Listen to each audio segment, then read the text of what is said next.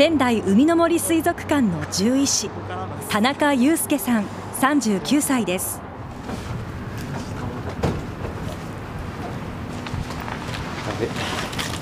基本的出勤の日は朝からフルタイムでで、まあ、ちょっと動物が調子悪かったりするとあの休みの日も来たりとかっていうのはあります、はい、勤務時間は午前8時から午後5時までで田中さんは出勤後白衣ではなく飼育スタッフと同じ制服に着替えました。結構バタバタ動きますよ。あっち行ったりこっち行ったり。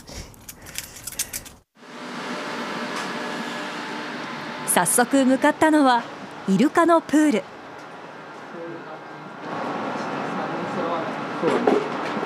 ボディチェックって呼んでるんですけどあのこれは飼育スタッフがメインなんですけど僕も一緒にやらせてもらいます現在海の森水族館の獣医師は田中さん1人。バンドウイルカやカリフォルニアアシカといった怪獣と呼ばれる海の生き物を担当するチームの一員です。今体温を測ってました。よ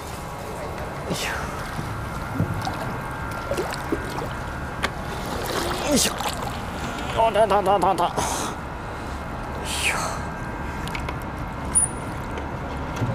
はいありがとう。夜の間結構いろいろ起きることがあるので朝のあのまず一番最初に動物に怪我や病気が見つかれば治療をしたり体調管理のための採血をしたりと健康管理が獣医師の主な仕事ですが田中さんは飼育員とともに餌作りなど飼育業務も兼務しています。この日はイルカやアシカなどの餌およそ70キロを1時間かけて準備しました。日々楽しいんですよ本当に。なんでそうやってあの生き物と接するその楽しさもそうですしもう本当なんでしょう宝の山じゃないですけど本当にもう興味が尽きないっていう感じですね。水族館の獣医師になって13年となる田中さん実家で犬を飼っていたことや獣医師が主人公のテレビドラマなどから興味を持ち動物の保健看護や獣医学を学ぶ大学へ進学。在学中の実習でペンギンやイルカと直接触れ合える水族館に惹かれ動物病院ではなく2010年松島町にあったマリンピア松島水族館を職場に選びました。初心表明として僕あの入社当初に書いたの今でもちゃんと覚えててあの人と動物の架け橋になりたいっていうふうに書いてたんですね。でそのあの思いは今も全然変わってなくてあの常にそれは持ってるつもりで。こちらは2013年の映像です。渡里町の荒浜で保護され松島水族館で一時飼育された北オットセイ愛称アラちゃんです。角膜炎を患うなど衰弱していましたが田中さんらの治療により保護から2ヶ月後無事回復しました。当時の田中さんです。無事に北の方に帰ってくれることを、えー、とスタッフ一同願ってます。あらちゃんは仲間の群れに戻されました。あっという間に仲間のもとへと泳いでいったあらちゃんその姿に思わず田中さんは。あら元気でろ率直にですね。はい。いやもう安心しましたすごく。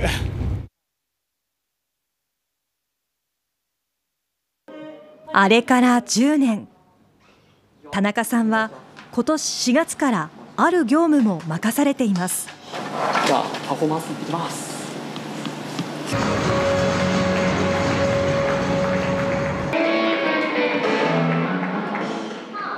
水族館で人気のスタジアムライブでのパフォーマーです今はバンドイルカとそれからまあパフォーマンスではそのバードって言われてる、えーと、ルリコンゴインコのパートをやらせていただいてます。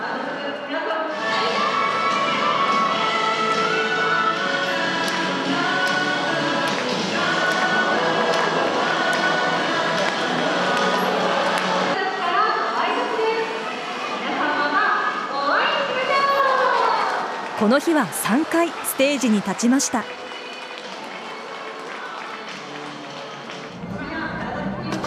こちらが今月19日の田中さんの時間割です。なんと午後のほとんどがスタジアムライブの出演でした。共に出演する飼育員らは。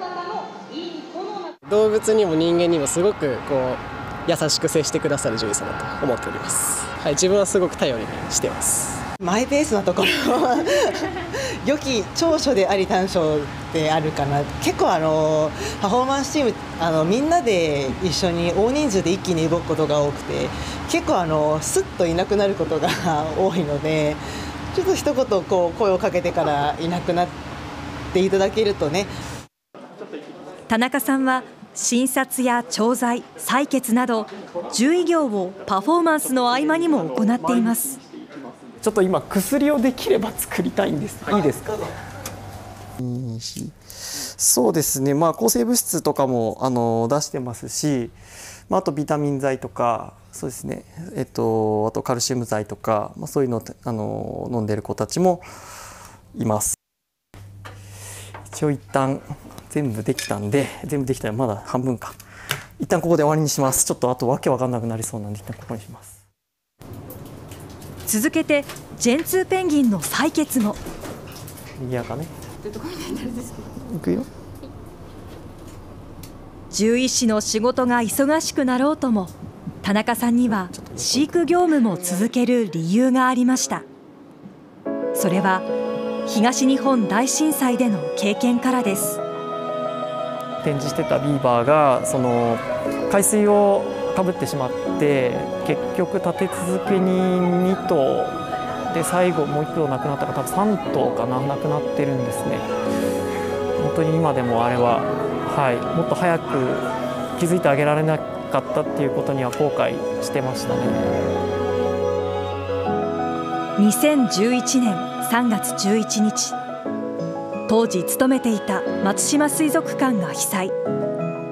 アメリカビーバーの体調や食欲に変化がなかったものの結局脱水症状や低体温症によりビーバーは命を落としました。田中さんは飼育員と積極的にコミュニケーションをとることで情報を共有し動物の体調の変化に早く気づく。それが命を守ることにつながると考えています。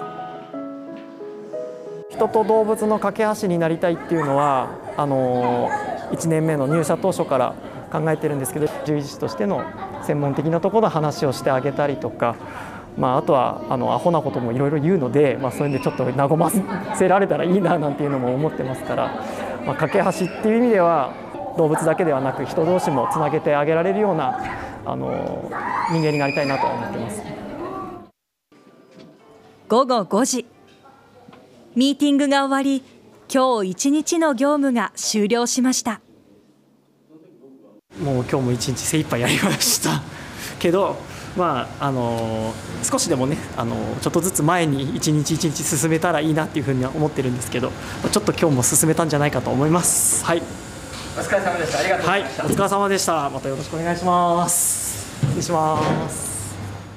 田中さんは今日もみんなをつなぐ架け橋となって水族館の命を守り続けています。